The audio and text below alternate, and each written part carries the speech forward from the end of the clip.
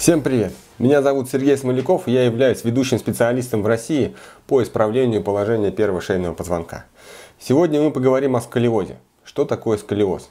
Сколиоз, или другими словами искривление позвоночника, а, довольно известное заболевание, и, как показывает практика, это заболевание само по себе является основой для возникновения целого спектра других заболеваний, которые охватывают позвоночник. И чтобы справиться со сколиозом, нужно понимать, откуда же он берется, как возникает сколиоз и как он появляется. Приведу пример.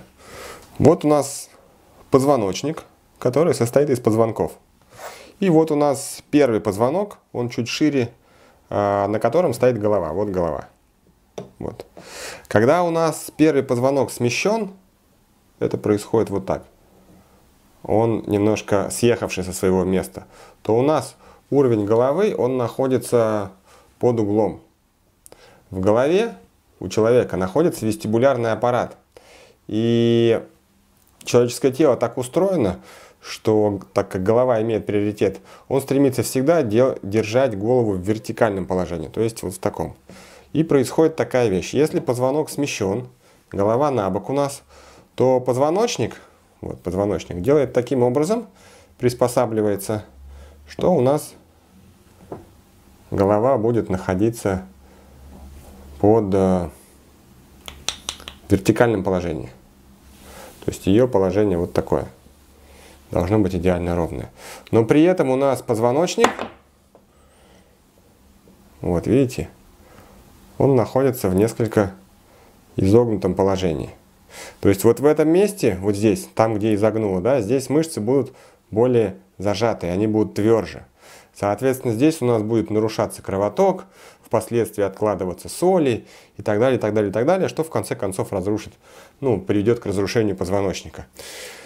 А, добавлю еще, что голова у нас, она весит 6-7 килограммов взрослого человека. И любое отклонение, даже небольшое, на несколько градусов, на 1 градус или больше, вот оно приводит уже к довольно большим изменениям в распределении нагрузки на всю ось позвоночника.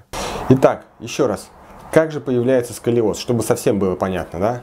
Вот у нас позвоночник. Вот это первый позвонок. Первый позвонок называется атлант. Почему? Потому что он держит голову. То есть у нас на нем сверху стоит голова. А, вся идея в том, что в голове находится вестибулярный аппарат. Вестибулярный аппарат, его предназначение удерживать тело в равновесии и конкретно голову в вертикальном положении. Что происходит, когда у нас первый позвонок смещается? При рождении это происходит либо во время аварии, либо спортивных травм. Вот, то есть позвоночек первый сместился, и теперь он стоит вот так, под углом. Видите? А, когда позвонок первый у нас стоит под углом, естественно, что голова, которая находится на нем, она тоже из своего вертикального положения стала уже в более наклоненное положение. В голове у нас находится вестибулярный аппарат, который отдает команду позвоночнику. Какую команду? Приказ очень простой. Держи голову прямо. И теперь э, позвоночник старается сделать таким образом, чтобы голова наша была, находилась вертикально. Но при этом у нас сохраняется вот это смещение. Оно никуда не делось.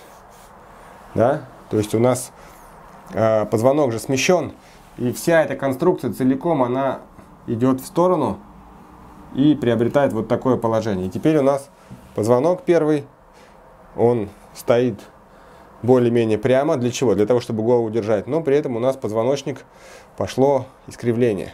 Да? И это искривление, так как оно смещает центр тяжести, который проходил ровно по позвоночнику, центр тяжести у нас смещается в сторону.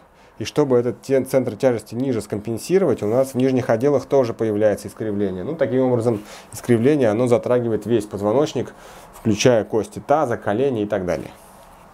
Это понятно. Как же нам справиться с этим искривлением?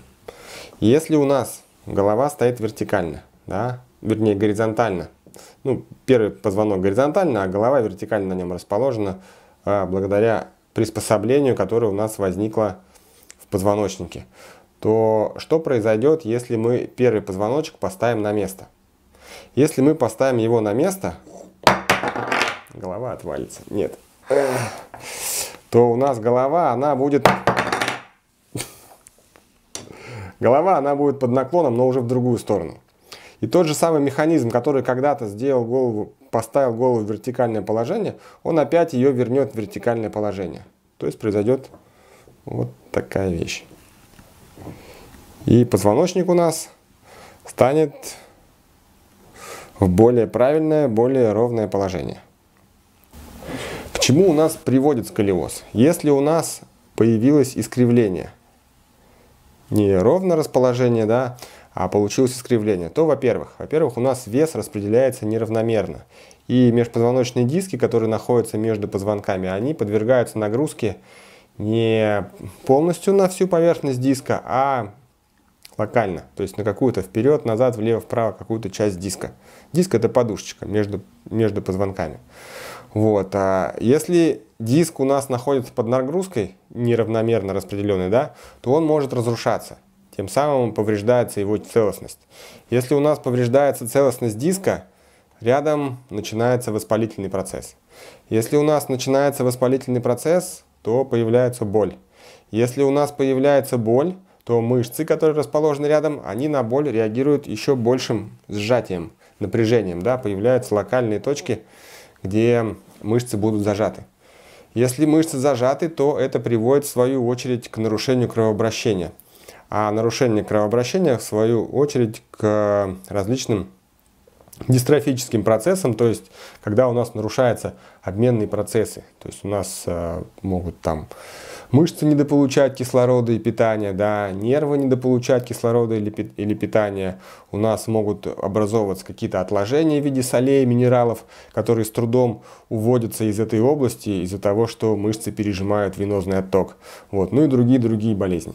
Вот я уже не говорю про разрушение самого диска, это конкретно грыжи, протрузии и так далее, различные такие серьезные деструктивные изменения в позвоночнике. Таким образом, если мы исправляем положение позвоночника, ой, положение первого позвонка, то у нас выстраивается более правильное распределение нагрузки на весь позвоночник. И таким образом мы убираем основную причину, из-за которой начались все эти процессы и заболевания. А, если вы применяете какое-то лечение, а первый позвонок у вас не стоит на месте, то все виды лечения, они просто не имеют смысла. Они либо не дают эффекта, либо дают эффект, который является временным. Поэтому первое действие, с которого начинается, с которого должно начинаться восстановление вашего позвоночника, это постановка первого позвонка на место. Спасибо, звоните, пишите, ставьте лайки.